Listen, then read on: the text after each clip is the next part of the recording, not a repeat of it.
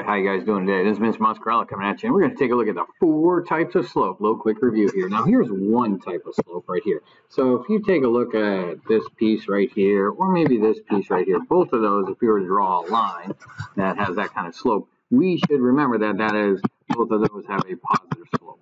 So uh, anywhere on that line, if I pick a point here or here, or maybe over here or here, my slope, whatever value I get, would be a positive value.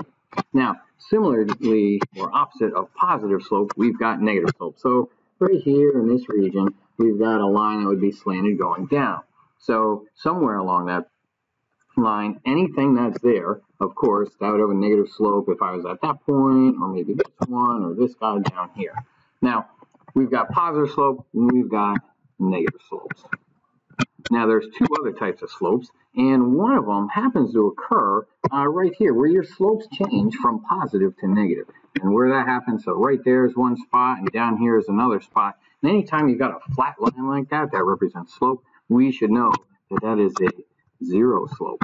All right, so where there's a change from a positive slope to a negative slope, or from a negative slope to a positive slope, that is where we have a zero slope. Now, similarly to positive, negative, and zero slope, we've got one other type of slope, and it's not really notated here in this one, but we could also have a vertical line. And if we had a vertical line, if we had a line that was vertical like that, of course, we know that that has no slope. So those are the four types of slope that exist. So when you're taking a look at a picture like that, sometimes you're going to have to estimate.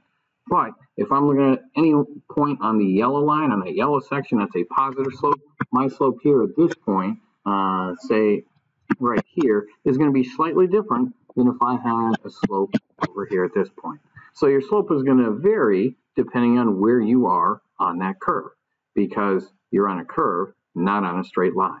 So hopefully that helps a little bit with remembering the four types of slope. That's it for today's quick little lesson. Talk to you guys soon. See you later. Peace out.